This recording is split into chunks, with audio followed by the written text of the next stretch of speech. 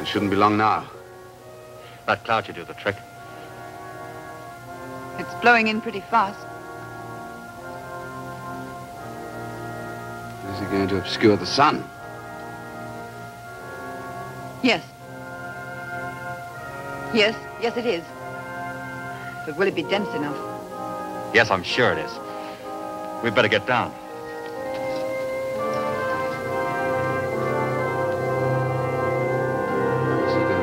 Going to prove the operation one way or the other? Stand by.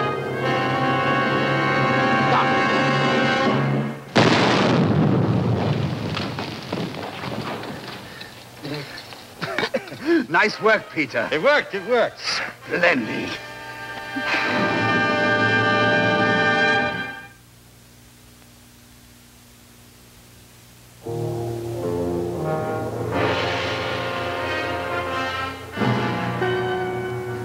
Here, here, and this. Okay, you two. If you're happy with this detonator, we'll call it a day. We're happy, all right. I can't see the general with any complaints. We're showing the light test. That'll impress him. Get him to pass his hand between the detonator and the uh, source of light, like this. Perfect. If it had been carrying a charge, we'd all be sky high. And what about the technical jargon? It's all there. This is all clever scientific stuff. That's your pigeon, Betty. You're the scientist. But you can't do the talking. You know he's expecting a promotion out of this, don't you, Peter? He wants you and I to do all the work. Have you got everything? Uh, yes, I've got your detonator, instructions for setting, light readings, the lot. Well, we'll let you know how it goes, Peter. Okay. Well, I'll be getting back to Castle Hill. Right, we'll see you. Goodbye. Good luck. Thanks. Now, let's get the facts right before I see General Martin. This detonator of Brady's is basically a light cell, isn't it? That's correct. And we place it on the top of the General's mine.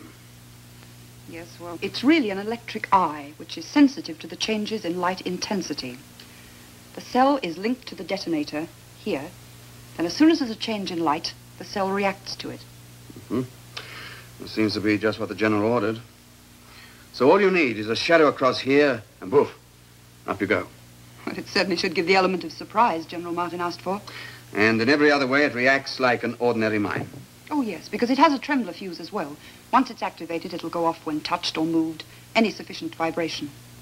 Good. Well, it seems as though Peter Brady's done the trick, Betty. With a little help from us.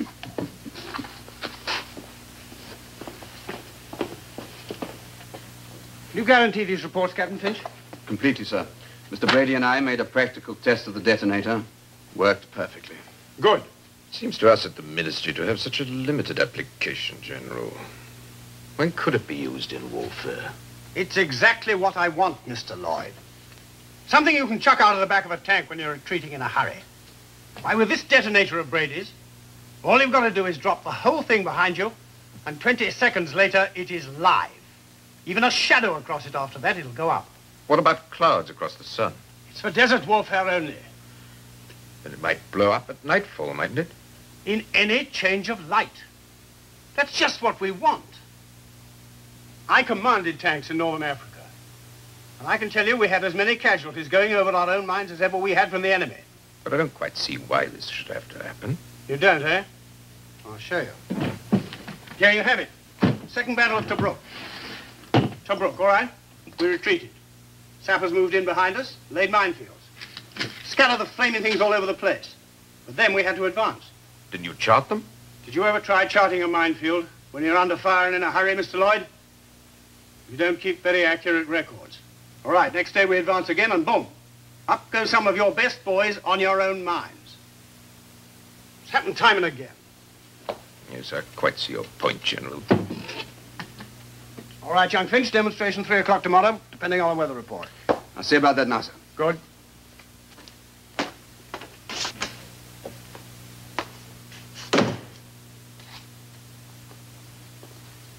Any news, Barry?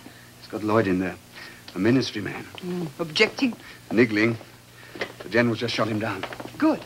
So we can go ahead with the demonstration. That's right, Betty. D-Day's tomorrow, if the sun shines bright.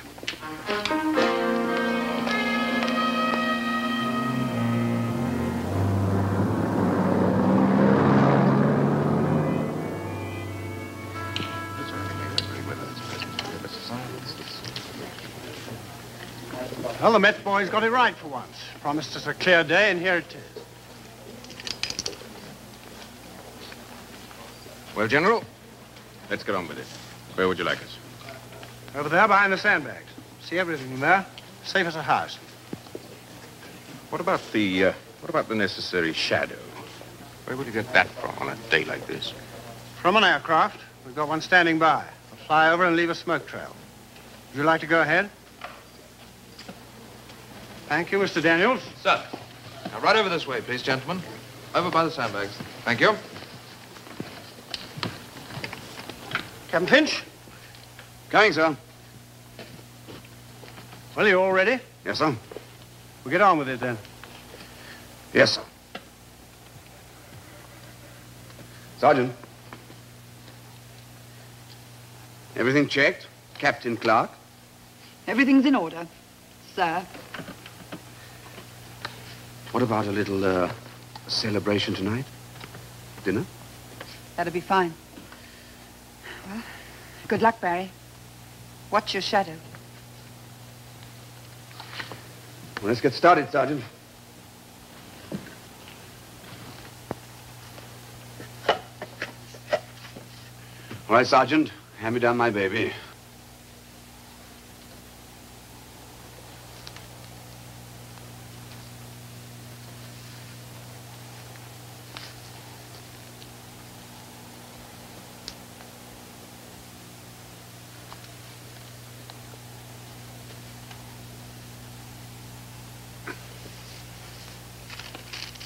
Message, sir. Read it, will you? Sir. Flight control reporting aircraft Able 7 standing by for takeoff. Awaiting your instructions. Tell them we'll be ready in a couple of minutes. Very good, sir.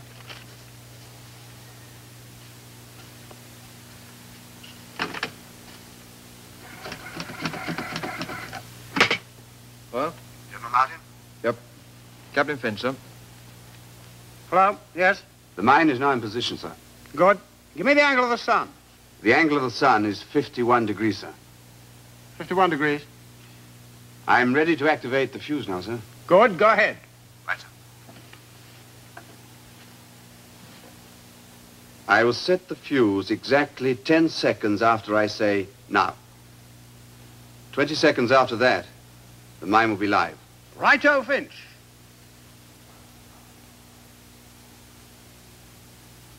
Now. Mine will be live in 30 seconds. Give me flight control. Yes, sir.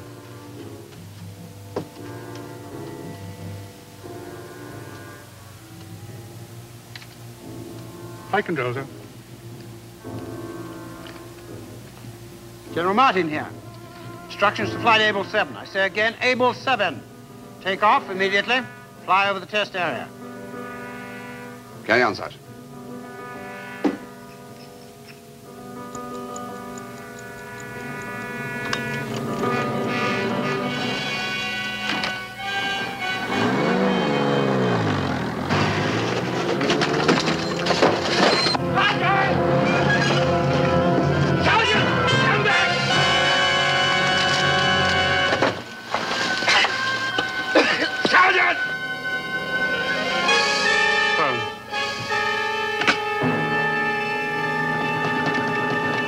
Hello, Finch.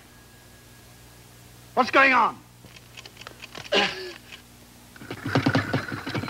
Finch! Something's happened to him.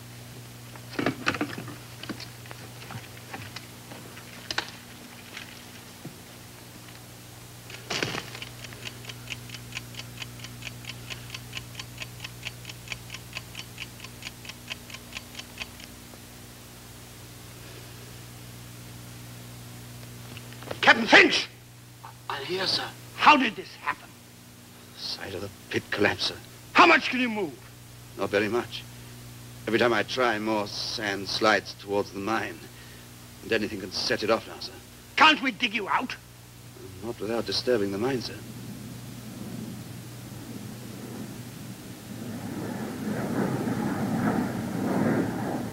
That's our plane. On its way here.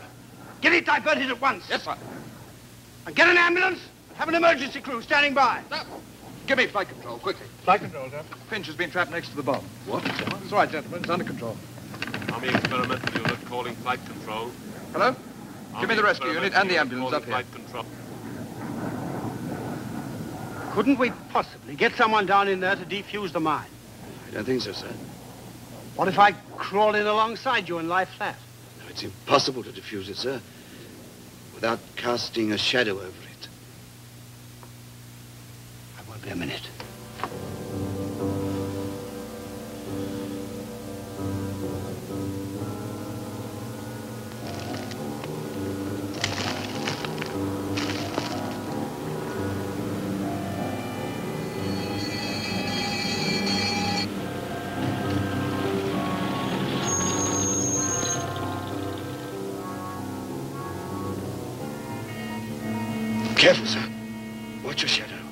Right, young Finch. I know what I'm doing.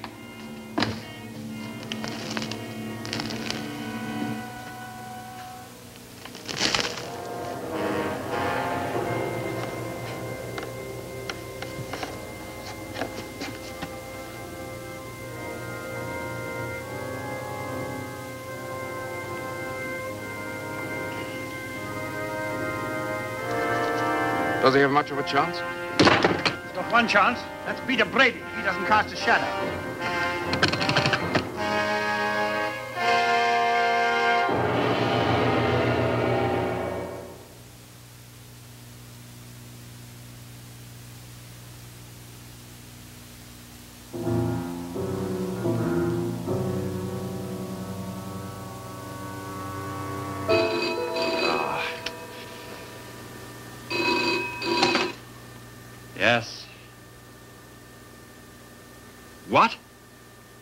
Captain Finch? My car's outside. I'm on my way. It'll take me about a quarter of an hour.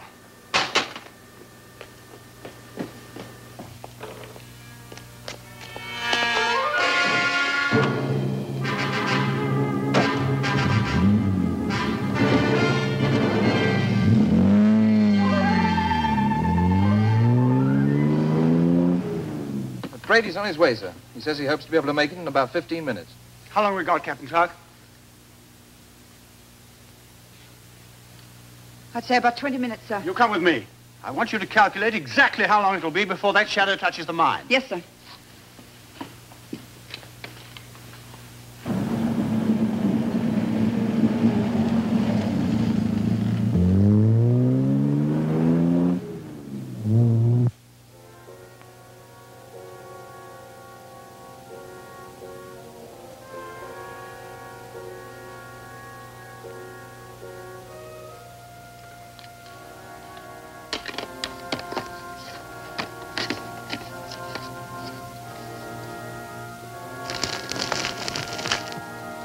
Well, We have 18 and a half minutes, sir. and we can't rely on Brady. Look, sir, we must take a chance. Now, I know how to do it. Let me try. I'm the only one who's taking chances round here.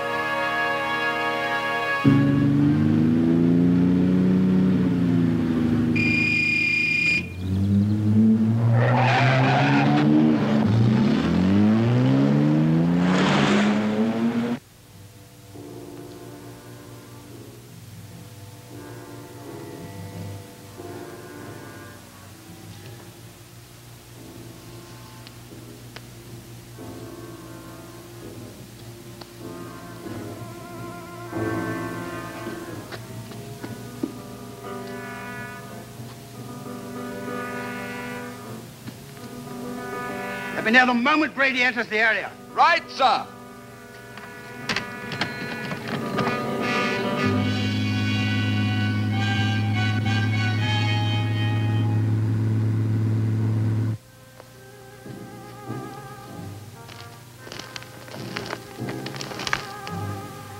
Only nine more minutes, sir. Yes, not a thing we can do till Brady gets here.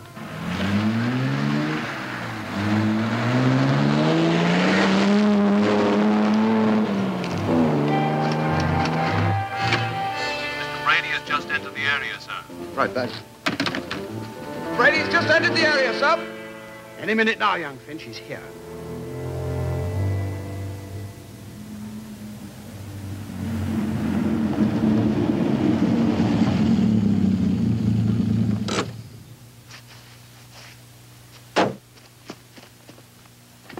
Have you got a toolkit? Uh, yes, Mr. Brady, I'll, I'll get it.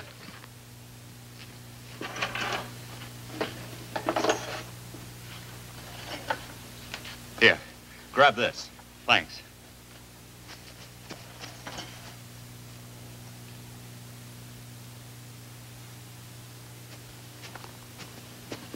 Oh, Peter.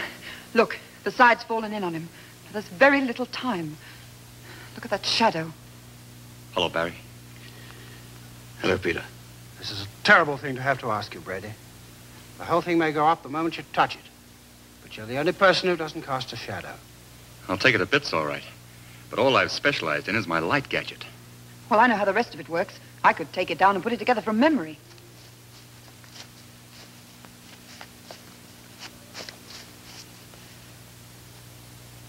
Uh-huh. I see. It's not going to be easy. It's half covered in sand already. Okay, I'll get down there. Betty, don't come any further round, or you'll throw a shadow. Watch how you go. Don't disturb that sand anymore.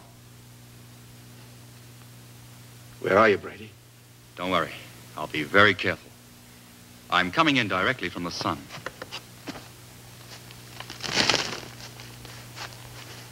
Okay, Barry. I'm with you.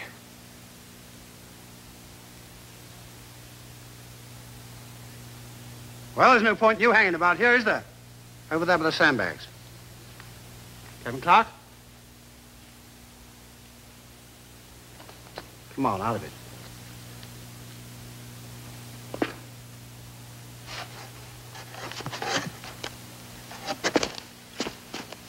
Well, get down.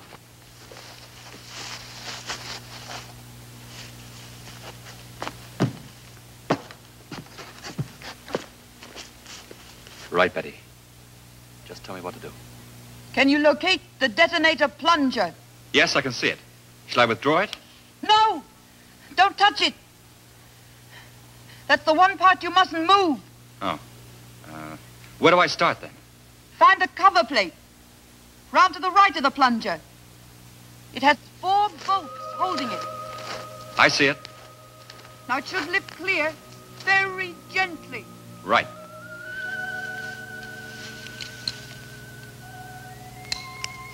They're coming. I won't be long now, Barry. Try not to move. Listen, Peter. I'm liable to pass out. If I do, I'm going to send more sand down on it. Why don't you get up before we both go up? Don't be silly. You're as strong as a horse. Just stay steady. We'll have you out of here in a minute. Take a look at the shadow. I don't think you've got much more than that.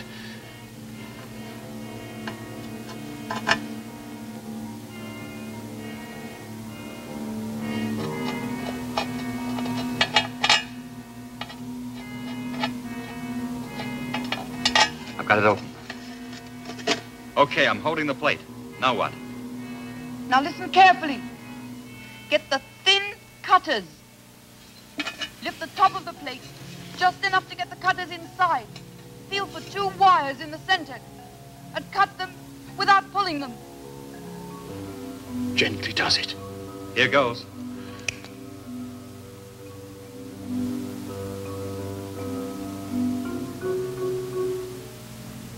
I've cut one wire, but I can't get a grip on the other one. You must, Peter. Got it. Both wires cut. Now, lift the cover off. Look at that cloud approaching. Peter, look. This is no place to stay. Take it easy, Barry. Everything's going very nicely. It won't budge. Peter, I know this bit. There's a retaining catch at the back. It must be sticking. Feel for it. A rounded projection. Push it away from you. Got it.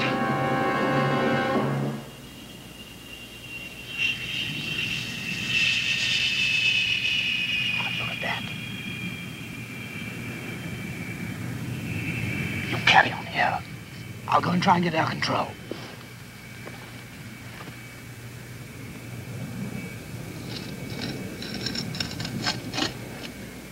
Shadow is almost there. Give me command. command, sir.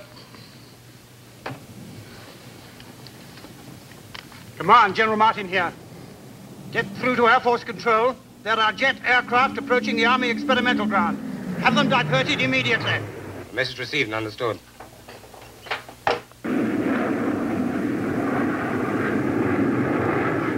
Will they get the message?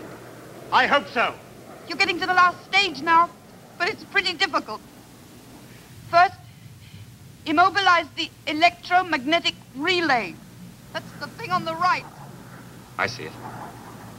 Get the earthing clamp.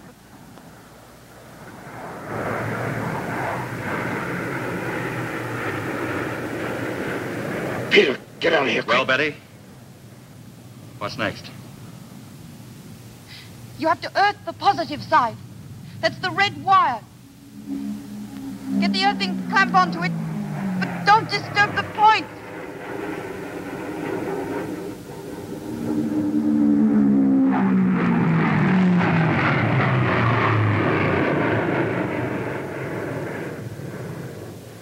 Whew.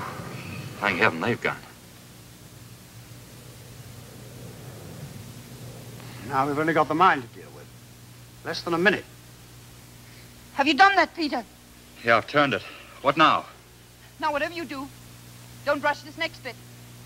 That big bolt on the left is the fuse screw. It carries the spring detonator. And that, I guess, is what we're looking for. It has to be turned clockwise. No, not sorry, anti-clockwise. Anti-clockwise. Five complete turns will unscrew it. Then you have to withdraw it straight, Peter. Dead straight. I should be doing this bit. Hold it steady. If it touches, Trembler can set it off. How's he doing? We're on the last lap now, sir. He's only got a few seconds. I know, General, but we can't rush this. His hands have got to be steady. I'm all right. Two, three, four, five. Now, all you have to do is pull the detonator clear without touching the sides. That's all you've got to do. It's coming. Here we go.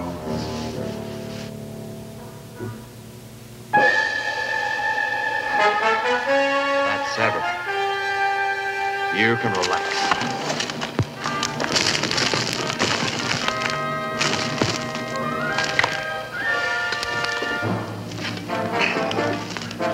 Thanks, Peter. Come